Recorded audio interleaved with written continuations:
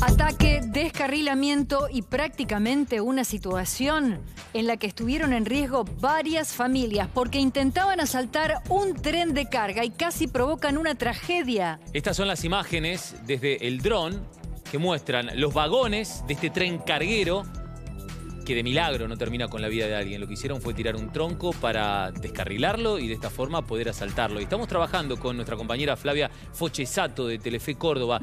Eh, Flavia, nos contabas recién, y como venimos reiterando, ¿no? Que de casualidad no hubo personas gravemente heridas. Claro, exactamente, eh, chicos, porque realmente esto podría haber sido una tragedia. Un camión que venía con nueve vagones, perdón, un, tren que venía con nueve vagones, descarrilaron seis, afortunadamente sin carga, y terminaron impactando contra las viviendas que se encuentran ubicadas en esta villa que está literalmente a un metro de la vía del tren. Realmente una situación eh, de la que hablamos también de milagros. ¿Y por qué decimos esto? ¿no? Porque estamos hablando que en este lugar donde me encuentro parada, donde ha quedado esta viga y donde hace un ratito habían quedado muchos cables de luz colgando, como ustedes pueden observar, era la cocina.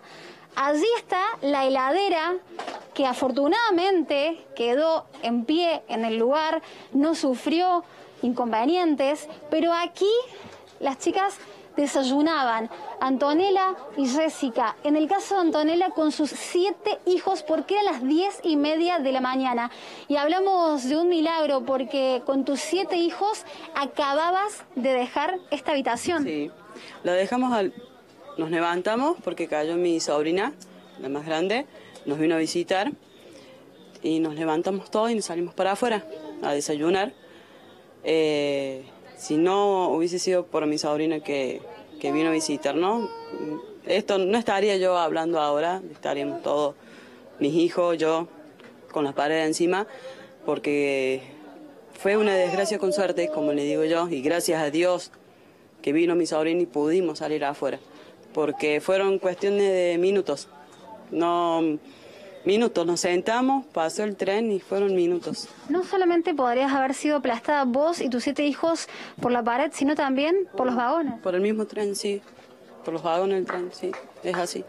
Bueno, y en tu caso, Jessica, eh, tu bebé que la tenés en brazos, vos tenés dos hijos, afortunadamente también se salvaron de milagro. Exactamente, el, vino el hijo más chico de Antonio, los varoncitos, y dice, tía, vino la roba a visitarnos, yo me levanté, Salí, nos sentamos a tomar, habremos tomado dos mates, que viene el tren y tienen, la costumbre de meter los animales porque saben pisar animales, todavía el tren no frena, sigue.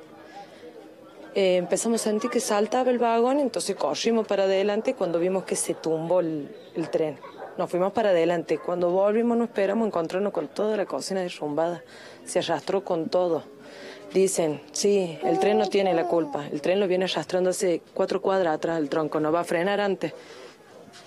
No pudo frenar antes, no sintió. Si no tenían nada para que te robaran, no hubiera frenado y se hubiera evitado todo lo que pasó ahora. Ahora, vos me comentabas, Jessica, que es habitual que arrojen cosas a la vía para que el tren se detenga y lo saquen.